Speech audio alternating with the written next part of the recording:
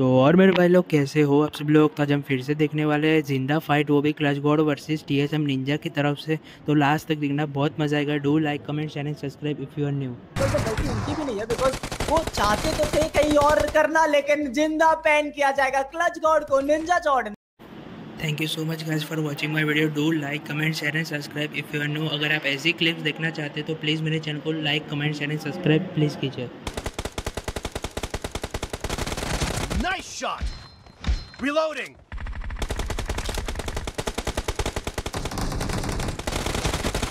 Target down! Have a lot of time left.